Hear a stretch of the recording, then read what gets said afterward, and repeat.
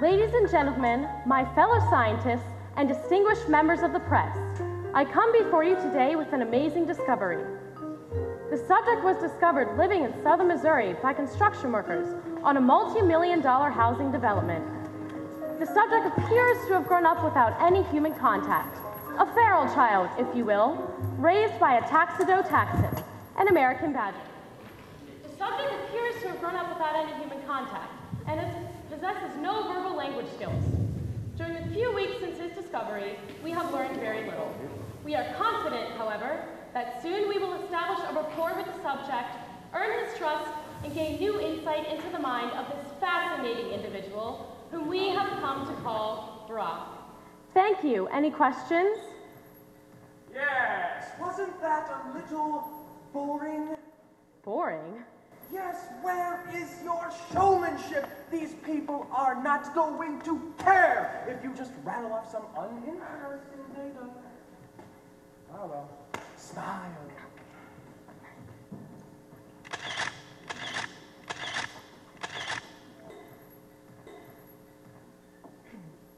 I come before you today with an amazing discovery that I believe will prove to be one of the most important anthropological and zoological finds of these our modern times.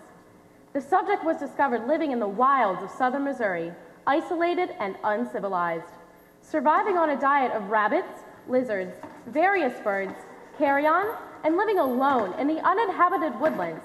The subject appears to have grown up without any human contact, a feral child, if you will, a modern day Tarzan here in our midst. Only in this case, the adoptive parents were not primates, but rather, we believe, badgers. Or should I say badger? Taxidea taxus, the American badger, is generally a loner, choosing not to live in sets or similar groupings as his European counterparts prefer. During the several months since his discovery, Brock has become less resistant to our team of specialists and has even begun to respond to verbal commands. Brock, say hello to the nice audience. Hello. Brock has also become somewhat of an international sensation, thanks to all the media coverage and the internet, of course. People magazine recently named Brock one of the 20 most intriguing people of the year. What do you think of that, Brock? Hello. He's become an extremely friendly fellow. We're still working on the answering of questions, however. Hello. Ahem. Speaking of questions, does anyone have one they would like to ask? Is human speech a realistic expectation? I don't believe it is completely unrealistic. In some cases, feral children have been reported to speak fluently and even adopt a role in society. What kind of role in society? Who knows? In the 16th century, the Prince of Bamberg, Bavaria, was said to have a feral child as a regular presence in his court. The boy, who was raised by cows, eventually adapted to his new life and even married. The boy was raised by cows? Really? Not all recorded feral children are raised by wolves. Those seem to be the most common, but there are reports of children being raised by sheep, bears, gazelles, and even in one case in Africa, ostriches. And now badgers. Yes, that is correct. Now we can add badgers to the list. But isn't it a fact, Dr. Long, that most cases involving children raised by wild animals are found to be nothing more than elaborate fantasies? Why, yes, that does happen from time to time. Some early reports were even believed to be folklore, but that does not invalidate the importance of this discovery. Of course not, Doctor. I was merely stating a fact.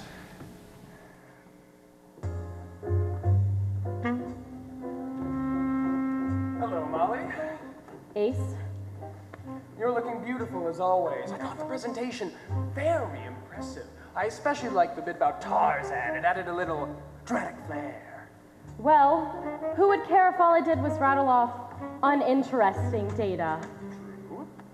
What are you doing here?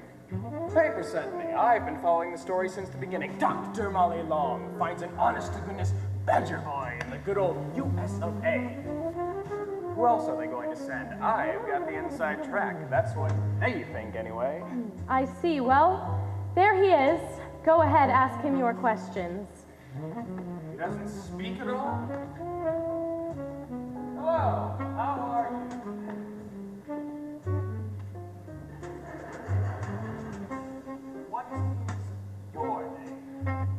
As we can tell, he hasn't had any human contact since he was an infant.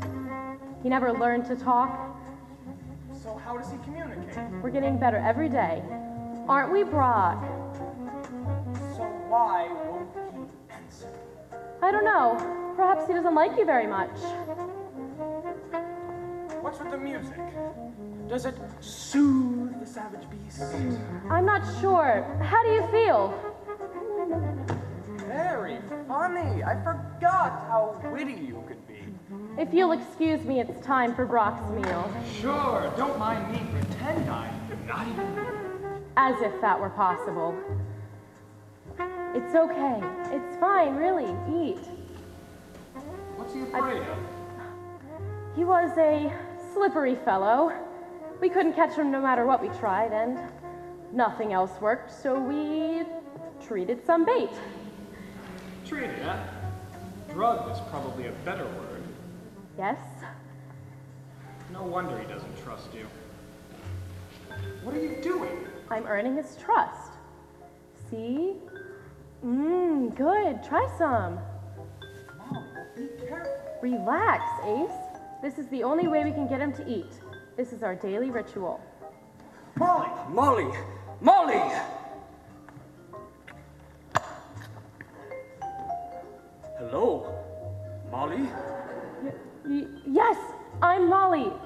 Dr. Long. Do you know your name? I am Molly, and you are Brock. Meet Tarzan, you, Jane. Me, Tarzan, you, Jane.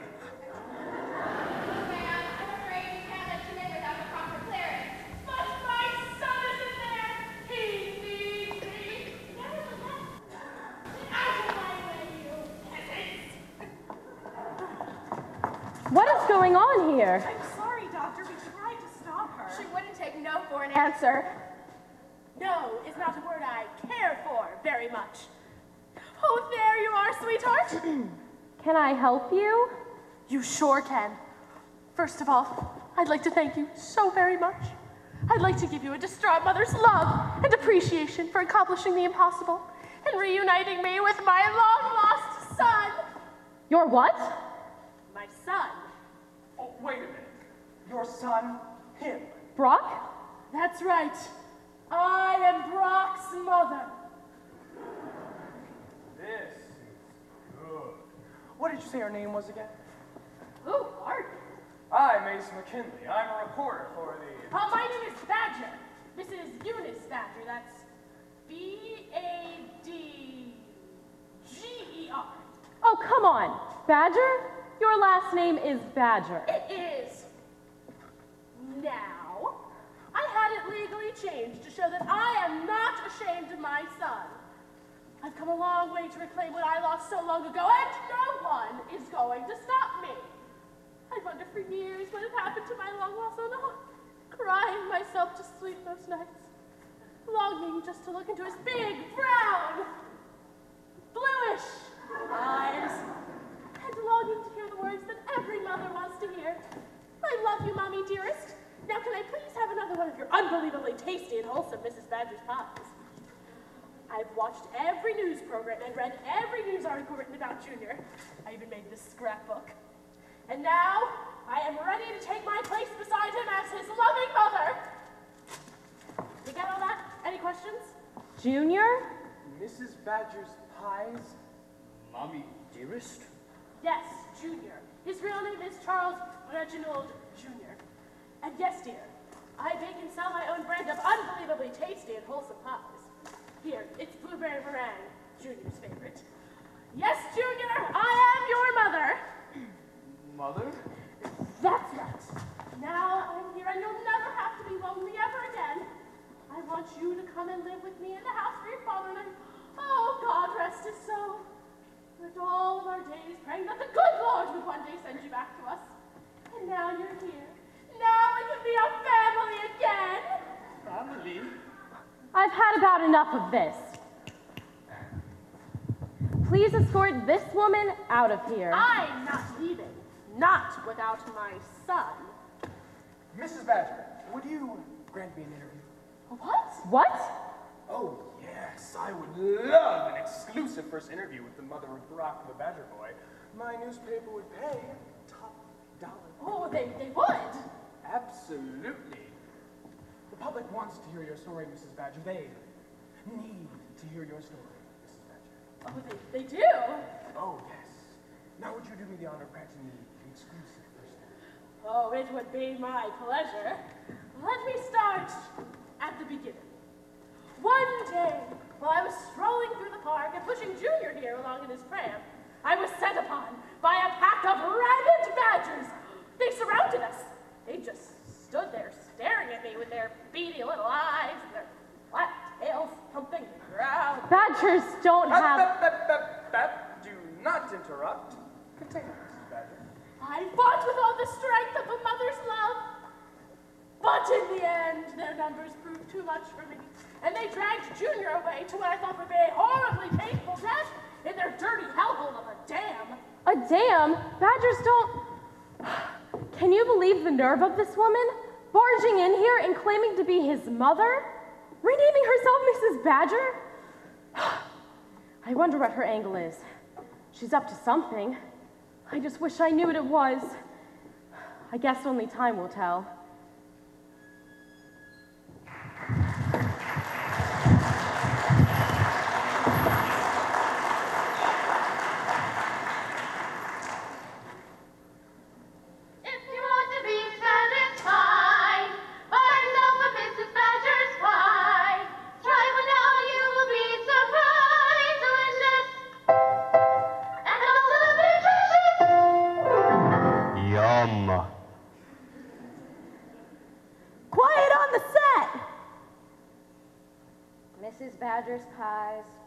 Unbelievably tasty and wholesome commercial.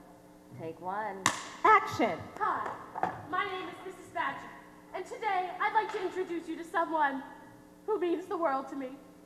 My son. Say hello, Junior. Hello. Junior and I would like you to know that Mrs. Badger's pies are not only delicious, they're also nutritious. Look for them in your local grocery store aisle. I love you, son. Don't you have anything you'd like to say to me? Oh, um, I love you too, Mommy dearest. May I please have another one of your uh, testy and Wallison pies? Cut! Cut, cut, cut. Brock, what was that? That was terrible. That's what that was. Didn't your mother ever teach you how to read?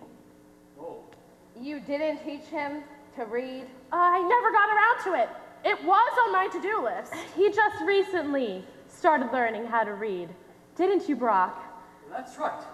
Dr. Molly Lowe is helping me to learn to read and speak the English. Oh, He's learning very fast. I can see that. Very good, Junior. Thank you, Mrs. Badger. Mommy dearest. That's better. Let's take a break. We're back on in five, people. Oh, I, I don't understand. He read it perfectly in rehearsal. I, I'm sure it's just nerves. Uh, don't worry. You aren't worried, are you? Now. Did I do something wrong? Oh, don't be silly, Brock. There's no shame in making a mistake. I don't understand how we got here in the first place. What do you mean? I mean, this. Well, all of this. Six months ago, you were rooting around the wilderness without a care, completely oblivious to the rest of the world. Well, then you found me. You brought me here. I know, I know all of that. What are we doing here? Oh, well, we're talking, yes? Yes. Stop taking everything I say so literally. Oh, it's not your fault. It's mine. I should have anticipated the reaction to your discovery. I should have protected you better, shielded you. I don't understand. Are you afraid? Yes, yes, I am. I'm afraid for you. For me? You're so innocent. I didn't plan on people trying to take advantage of your trusting ways. I didn't plan on her, Mrs. Badger, appearing out of nowhere and trying to stake a claim to you. I didn't plan on the damn pies. Why are you doing this? Well, it'll make her happy. And I want to make her happy. I don't believe she's your mother, Brock. Do you? She said she was. She has no real proof. Well, you heard her story. I heard a woman who doesn't know the difference between Taxidea taxus and Castor canadensis. Between a badger and a beaver. She described beavers in her story, not badgers. Well, why would she say she's my mother if she isn't? It's called a lie. It's something that people do. But, but why? Who knows? Sometimes we lie to impress people. Sometimes we lie to hide something. And sometimes we lie to get something we want. Well, like what? Well, like you. Me? Maybe she wanted a son so badly that she thought you were her only chance. To get herself out of debt. An instant celebrity son, just add water. Mr. McKinley, would you kindly tell me what this is all about? Hey, sport, you probably don't remember me, but I... I know who you are. What do you want? Well, someone's been studying his ABCs. I wanted to talk to you two. About what? You're the reason we're in this mess. You helped her. You sided with her. I printed a story. That's all I did. It was stupid. I was too anxious. What are you saying? She's a fake. I beg your pardon. I finally did some investigative work that I should have done a long time ago. Apparently, quite a few years ago, a Mr. and Mrs. Charles Reginald Brown were indicted for tax evasion. Miss, uh, Mrs. Brown declared ignorance, claiming that tax payment was her husband's job. Charles spent years in a federal penitentiary, while Mrs. Brown got off with a warning. There is more. Five prior arrests, three prior convictions, credit card fraud, and extortion. Mrs. Brown is not as sweet and wholesome as she would lead us to believe. So you're after money? Brock doesn't have any money. No, but he has something far more valuable. Fame. Think about it. We all know him. We've either read his story or seen his face on 2020. He is a celebrity. So?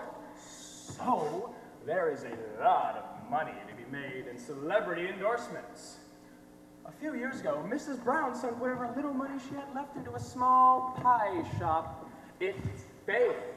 She's bankrupt, or she was, until Rock here came along. Empire Food Distributors has signed a multi-million dollar contract with Mrs. Brown. The deal calls for several commercial spots featuring Mrs. Brown and her so-called son, Brock. Now she's got herself a big fat cash cow. That is you, buddy boy. I'm sorry, Brock. Well, for what? Didn't you hear a word that Ace said? Uh, yes, uh, Mrs. Badger wants to sell pies. I can help her sell pies. She said so herself. She told you that. Oh, yes. That's right. She said people would like to buy pies from a loving family. Our family. But you're not a family. She's not your mother. There are DNA tests we can use to prove it. She's using you, Brock. She's using you for her own personal gain. Well, so what? So are you. You're using me to get your story. And even you're using me, Dr. Molly Long. That's right, Junior.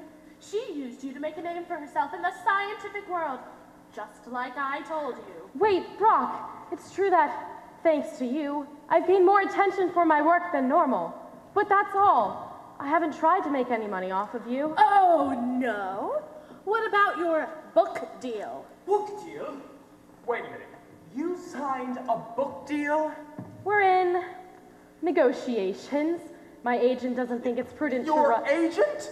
Are You have an agent? I don't have an agent? Oh, oh, I have an agent. A very nice man named. Even you have an agent. Well, naturally. He's working on selling the rights to my movie. Why don't I have an agent? You're selling the movie rights to his story? You're writing a book. It's a scientific journal. I should have an agent. I'm the celebrity. Isn't that what you said? That's right. You are. You are a star. I'm a star. I. I could be your agent. You? You're a reporter. Ace, you can't be his agent. Why not? I know a lot of people. I have connections you would not believe. People know me. I'm somewhat of a celebrity myself. Really? You betcha. Everyone knows Ace McKinley is a force to be reckoned with in this town. Stick with me, kid. These two are only holding you down. Come on, Junior. We do not need him riding our coattails. Don't listen to her, Brock. Dr. Molly Long, you said I was a person and not a possession. Isn't that what you said? Yes. And as a person, I have the right to make my own decisions, my own life. Yes. Junior, don't listen to her. You need me. You need my guidance. I don't need you. I don't need any of you. Junior? What are you saying? I'm saying leave me alone. Oh, but what about my pies? We had a deal. Leave me alone! You too. Good luck, Brock. I hope you know what you're doing. Just don't forget who you are and where you came from.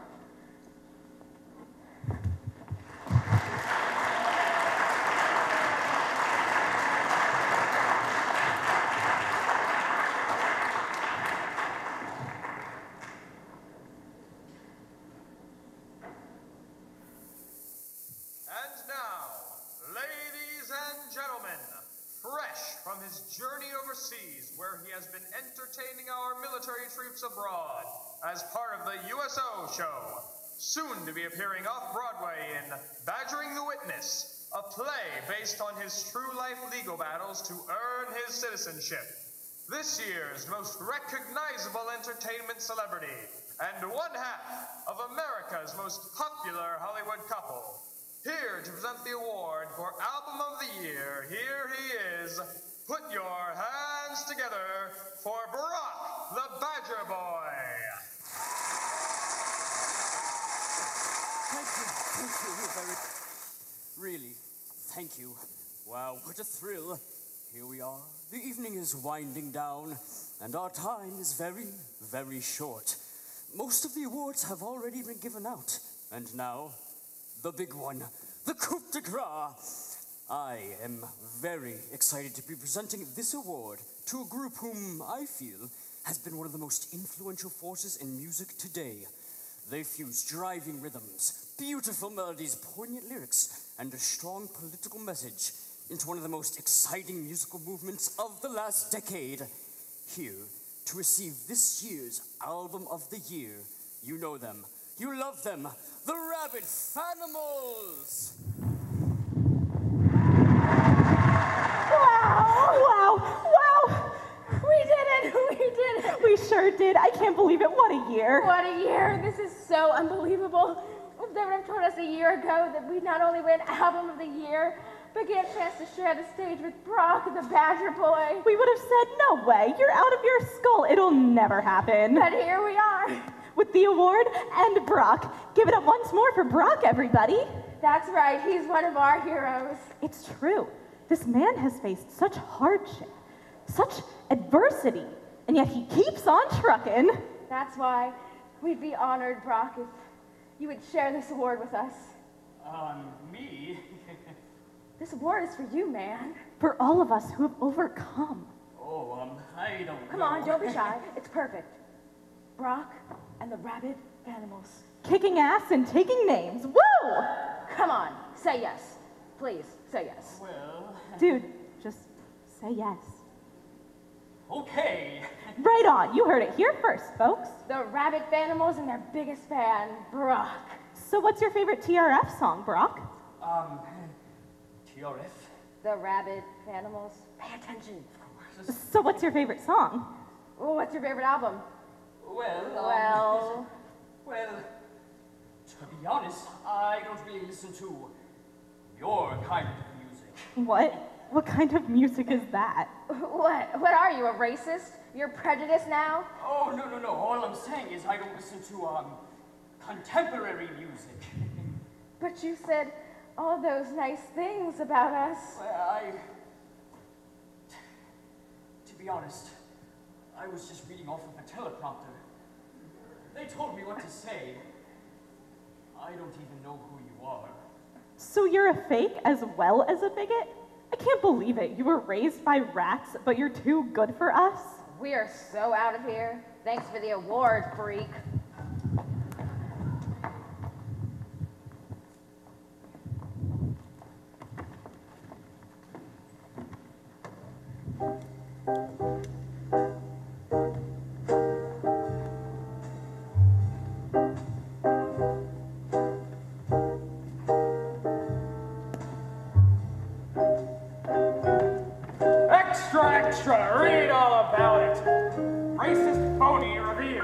Animal fans foaming at the mouth.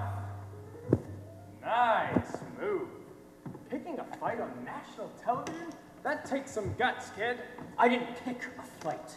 Sure, sure, whatever. Either way, it was quality entertainment. I told you to leave me alone. For what? Extra, extra, read all about it. Badger bombs at the box office. Brock tanks on the big screen. Well, Junior, I hope you're happy. The movie failed. It didn't even make it through the first week. Now, Empire Foods has negated my contract. Mrs. Badger's unbelievably tasty and wholesome pies are finished, ruined, kaput. Oh, so much for an alleged son's love. Leave me alone. Oh, gladly. And let me tell you something. You're over. Your time is nearly through. Good. And another thing. I'm starting to doubt that you really are my long-lost son after all. my son? I don't think you are who you claim to be. I never said I was your son. You did. Well, that's all irrelevant now, isn't it? Goodbye forever!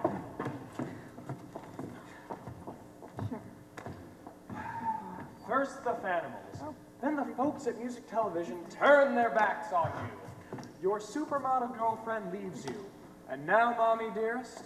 Oh, well, your ship is sinking and all the rats are deserting. What are you going to do now, Brock? Who's going to protect you? I never asked for any of them.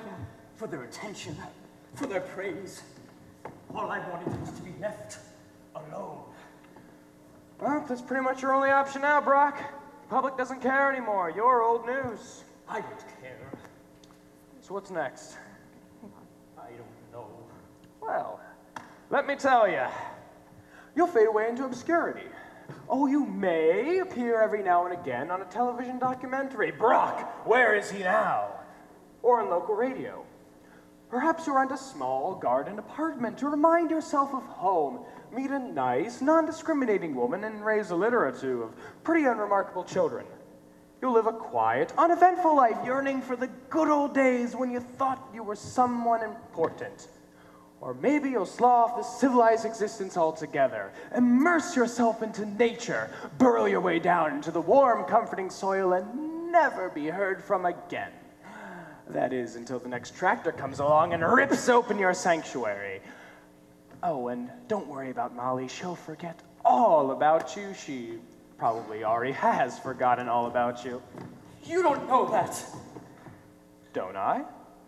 It was the same with me. I wasn't special. Oh, I thought I was, but no. I served my purpose. You have served your purpose, and now she has left you to the jackals. No. Where is she then? She never cared for you, not the way you cared for her. Your feelings for her were an embarrassment. She thought it was absurd, disgusting. She was ashamed of you. No!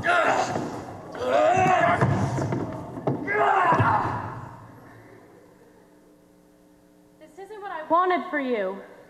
What did you want? I guess I never thought that far in advance. I wanted to show you things the world, modern day, the people, the laughter, the joy, the humanity. The sorrow, the hurt, the tears. That's a part of it. But why? I wish I knew. The world is so beautiful once. I never meant for any of this to happen. What did you mean for? I am sorry. I don't blame you for this.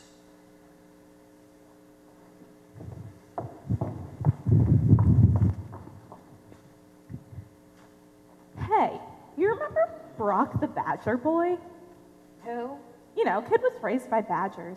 He was real big for a while. I guess you could say he was a celebrity. Maybe. Wasn't there a movie? I think so. I never saw it. But you know who I mean? How am I supposed to know? You brought him up. I think I read somewhere he's in jail, shot someone, robbed a bank or something. Isn't that always the way? It's a shame. I really thought he might be different. I was rooting for him. How typical. How predictable.